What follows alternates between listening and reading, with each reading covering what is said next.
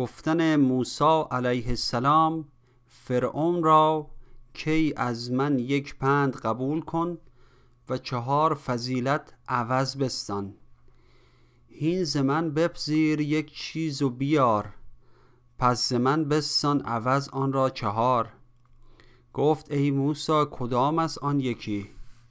شرح کن با من از آن یک اندکی. گفت آن یک که بگویی آشکار که خدایی نیست غیر کردگار. خالق افلاک و انجم بر علا مردم و دیو و پری و مرغ را. خالق دریا و دشت و کوه و تیغ ملکت او بی حد و او بی شبیه. گفت ای موسی کدام است آن چهار؟ که عوض بدهی مرا برگ و بیار.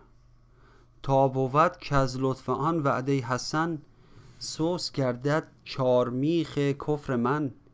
بو که زان خوش وعده های مختنم برگشاید قفل کفر صد منم.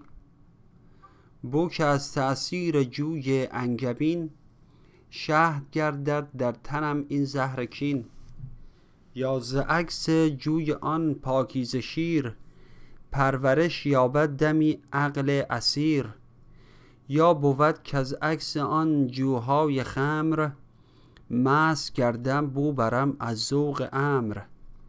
یا بود کز لطف آن جوهای آب تازگی یابد تن شوره خراب. شوره ام را سبزه ای پیدا شود خارزارم جنت مأوا شود.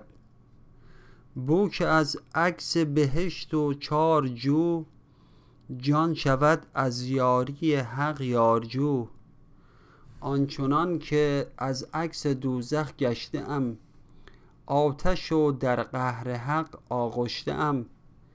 گه ز عکس مار دوزخ همچو مار گشته ام بر اهل جنت زهربار. گه ز عکس جوشش آب حمیم آب ظلمم کرده خلقان را رمیم. من ز عکس زمهریرم زمهریر یا ز عکس آن سعیرم چون سعیر. دوزخ درویش و مظلومم کنون. وای آنکه یابمش ناگه زبون. دوزخ درویش و مظلومم کنون. وای آنک یابمش ناگه زبون.